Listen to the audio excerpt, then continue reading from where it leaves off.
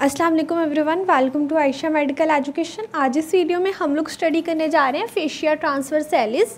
Previous video में हम लोगों ने स्टडी किया था रेक्टस शीत को। उसी के रिलेशंस में हमारे पास आ रहा होता है फेशिया ट्रांसफ़र सेलिस। नेम से इंडिकेट कर रहा है फेशिया ट्रांसफ़र सेलिस मीन जो हमारे पास एबडोमिन का मसल है, ट्रांसवर्सस एबडोमिनस, उसको ये कवर करता है फेशिया ट्रांसफ़र सेलिस। बेसिकली हमारे पास सिक्स मसल्स होते हैं जो कि हमारे anterolateral wall of the abdomen को कवर करते हैं, जिसमें आता है internal oblique external oblique transversus abdominis rectus abdominis cremaster and pyramidalis so उनमें से जो ट्रांसवर्सस एब्डोमिनस मसल है जो कि एब्डोमिन की एंटीरो लेटरल वॉल का मसल है उसको ये कवर करता है। सबसे पहले हम देखेंगे इसकी डेफिनेशन दैन एक्सटेंट और इसकी opening of the deep inguinal ring देखेंगे जो कि रिंग इसके फेशिया से ही ट्रांसफेशिया ट्रांसफ़र सेलिस से ही बनती है। सो so, सबसे पहले जो डेफिनेशन है उसमें क्या है? Is the fascia which lines the inner surface of the abdomen and separated from the peritoneum by extraperitoneal connective tissues ठीक है? हमारे पास क्या होता है कि ये फेशिया जो है inner surface of the abdomen को ये कवर करता है। उसके अलावा ये हमारे पास जो पेरिटोनियम से सेपरेट होता है by the extraperitoneal tissue mean हमारे पास क्या होता है? ये जो ब्लू कलर में मैंने ड्रॉ किया है, ये हमारे पास फेशिया ट्रांसफ़र सेलिस और ये जो ग्रीन कलर में आपको इंटीरियर और पोस्टीरियर दिख रही है, ये इंटीरियर एंड पोस्टीरियर वॉल है रेक्टस शीत की, ठीक है? सो उसके बिहाइंड ही ये हमारे पास फेशिया आता है। This is the fascia transversalis in blue colour so so, क्या होता है कि यहाँ पर क्या होते हैं? एक्स्ट्रा पेरिटोनियल कनेक्टिव टिश्यू ठीक है? ये जो मैं स्प्रिंग लाइक स्ट्रक्चर बना रही हूँ ये क्या होगा? एक्स्ट्रा पेरिटोनियल टिश्यूज़ होंगे और इसके बिहाइंड क्या आएगी? पेरिटोनियल कैविटी आएगी ठीक है? सो इस बात का ये मतलब है कि ये जो फेशिया ट्रांसफ़र सेलिस है पेरिटोनियम से कैसे सेपरेट होता है? By the extra peritoneal connective tissue mean peritoneum और फेशिया ट्रांसफ़र सेलिस के दरमियान एक चीज़ आ जाती है जो कि एक्स्ट्रा पेरिटोनियल कनेक्टिव टिश्यू होते हैं। उसके अलावा क्या है? This fascia lines inner surface of the transversus abdominis so जो ट्रांसवर्सस एब्डोमिनस है, उसके इनर पार्ट को ये कवर करता है, ठीक है? Whole of the transversus abdominis को कवर नहीं करता, बल्कि जो उसकी इनर लाइनिंग है, उसको ये कवर करता है फेशियल ट्रांसफ़र सेलिस नेक्स्ट हम देखेंगे इसकी extent mean anteriorly posterior superior inferior medial ये कहाँ तक एक्सटेंड करता है, ठीक है?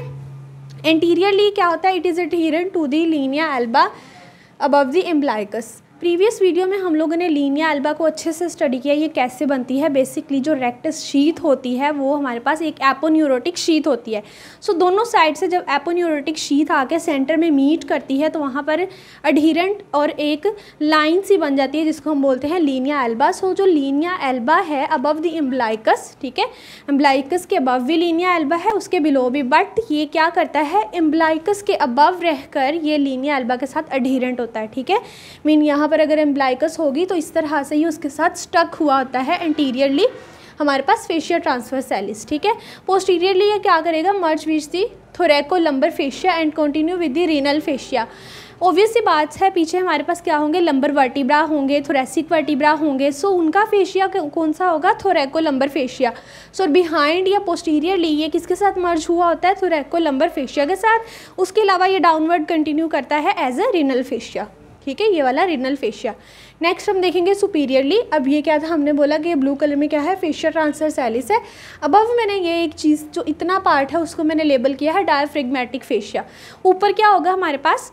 एब्डोमिनल कैविटी को थोरेसिक कैविटी से कौन सेपरेट करता है? डायफ्राम मसल सो जो डायफ्राम मसल यहाँ पर आ रहा है, ठीक है? इस तरह से जो डायफ्राम मसल है, जो कि ऊपर थोरेसिक कैविटी को नीचे एब्डोमिनल कैविटी से सेपरेट करता है। सो so, डायफ्राम के बिलो भी एक फेशिया जिसको हम कहते हैं डायफ्रेगमेटिक फेशिया ठीक है? तो सुपीरियरली मीन सबसे ऊपर देखें तो ये फेशिया ट्रांसफ़र सेलिस क्या कर रहा है? इस डायफ्रेगमेटिक फेशिया के साथ कंटिन्यू कर रहा है ठीक है? मीन उसके साथ जुड़ा हुआ है।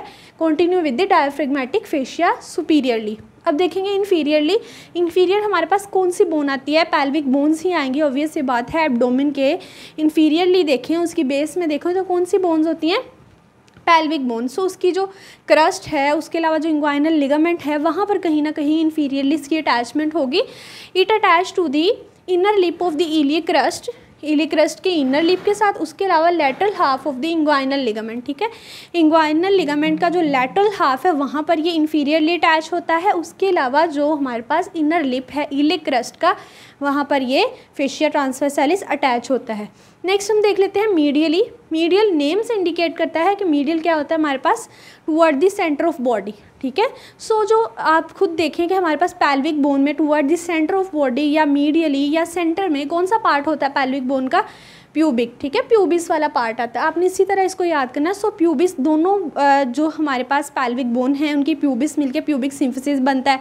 सो वो कहाँ आता है? सेंटर में आता है। सो इसी तरह इसका मीडियली भी अटैचमेंट कहाँ पे होगा? नेम में प्यूबिक ही आएगा। सो प्यूबिक ट्यूबरकल पे ही अटैच होगा fascial transversalis pubic crest पे अटैच होगा। उसके अलावा जो पैक्टीनियल लाइन है पैक्टीनियल लाइन ऑफ़ प्यूबिस वहाँ पर ये अटैच होगा मीडियली ठीक है? पैक्टीनियल लाइन भी कहाँ पर होती है? प्यूबिस में ही तो होती है। सो ये तीनों जो लैंडमार्क हैं, ये हमारे पास प्यूबिस में ही आ रहे हैं। सो मीडियल अटैचमेंट कहाँ पर हो रही है? प्यूबिक ट्यूबर प्यूबिक ट्यूबर्कल पे प्यूबिक क्रस्ट पे और पैक्टीनियल लाइन ऑफ़ प्यूबिस पे हो रही है। फेशियल ट्रांसफ़र सेलिस की। नेक्स्ट हम देख लेते हैं डीप इंग्वाइनल रिंग इसी फेशियल ट्रांसफ़र सेलिस में एक रिंग बन जाती है, जिसको हम कहते हैं deep inguinal ring this is the opening of deep inguinal ring सबसे पहले हम देखेंगे इसकी डेफिनेशन कि ये हमारे पास बंदी कैसे है। This is about 1.2 centimetre above the mid inguinal point oval opening in the fascial transversalis is called deep inguinal opening क्या होता है कि हमारे पास एब्डोमिन के बिलो हम जब थाई के रीजन में जाते हैं तो वहाँ पर एक लिगामेंट होता है, जिसको हम बोलते हैं inguinal ligament so mid point of inguinal या मिड इंग्वाइनल पॉइंट से अबव थोड़ा सा 1.2 सेंटीमीटर अबव एक हमारे पास डीपली एक रिंग बन जाती है, जिसको हम बोलते हैं डीप इंग्वाइनल ओपनिंग ठीक है, यहाँ से क्या होता है मेल में स्पर्मेटिक कोड पास करती है। अगर फीमेल है तो उसमें क्या होगा round ligament of uterus pass करेगा, ठीक है। इसका फ़ंक्शन भी बताया है कि इस डीप इंग्वाइनल रिंग में से क्या करता है it transmits spermatic cord in male and round ligament of uterus in female ठीक है। नेक्स्ट उसकी प्रोलोंगेशन बताई हुई है। प्रोलोंगेशन में क्या है हमारे पास? Tubular prolongation over spermatic cord is called internal spermatic fascia क्या होता है कि ये ट्यूब्यूलर फर्दर रिंग है। सो, जो रिंग फेशियल ट्रांसफ़र सेलिस की रिंग बन गई है, अब वो रिंग जब प्रोलोंग करेगी तो क्या करती है? वो प्रोलोंग हो गए वो रिंग ट्यूब्यूलर प्रोलोंगेशन बनाती है, जो कि कवर करती है स्पर्मेटिक कोड को। सो, इसको हम बोलते हैं इंटरनल स्पर्मेटिक फेशिया ठीक है? मीन इसी फेशिया की जब कॉन्टिन्यूशन होती जाएँगी तो नेम भी चेंज होंगे, ठीक है? फेशिया ट्रांसफ़र सेलिस का एक और नाम आ गया है इंटरनल स्पर्मेटिक फेशिया नेक्स्ट बताया गया है हमारे पास फिमोरल शीथ में। अगर आपने थाई को पढ़ा हो तो उसमें एक फिमोरल शीथ होती है, जो कि हमारे पास फिमोरल वैसल्स को कवर करती है। जिसमें आती है फिमोरल आर्टरी फिमोरल वेन उसके अलावा जो लिम्फ नोड्स हैं, उनको इस तरह से टाइट करके पैक करके रखती है फिमोरल शीथ सो उस फिमोरल शीथ की जो एंटीरियर वॉल होती है, वो कौन बनाता है? फेशिया ट्रांसफ़र सेल्स की एक्सटेंशन ही होती है, ठीक है? इसमें बताया गया है कि over femoral vessels fascial transversalis is prolong to form the anterior wall of femoral sheath हम लोगों ने जब फिमोरल शीत को स्टडी किया था, उसकी वॉल्स भी देखी थी anterior wall posterior wall lateral wall medial wall so जो इंटीरियर वॉल की फॉर्मेशन है, वो कौन करता है? फेशियल ट्रांसफ़र सेलिस ही करता है. मीन उसकी जो प्रोलोंगेशन होती है फिमोरल वेसल्स को होल्ड करने के लिए फिमोरल शीत की इंटीरियर वॉल को कौन बनाता है? फेशियल ट्रांसफ़र सेलिस ठीक है? नेक्स्ट उसके बताए गए हैं relation of the vessels and the nerves अगर फिमोरल शीथ आपको याद हो तो फिमोरल शीथ के कंटेंट्स में कौन कौन सी चीज़ें आ रही थी?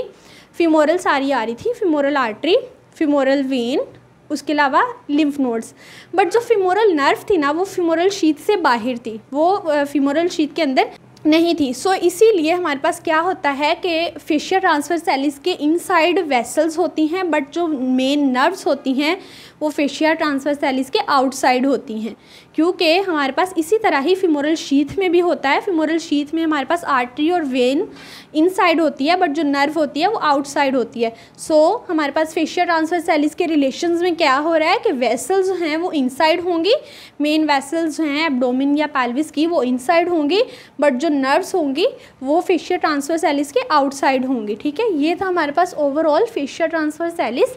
If you understand this video so please like share and subscribe the channel thanks for watching.